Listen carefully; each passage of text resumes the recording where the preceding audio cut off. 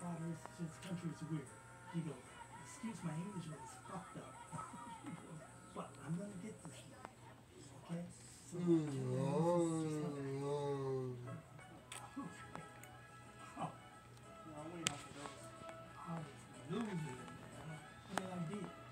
I said anybody, d does not deserve it.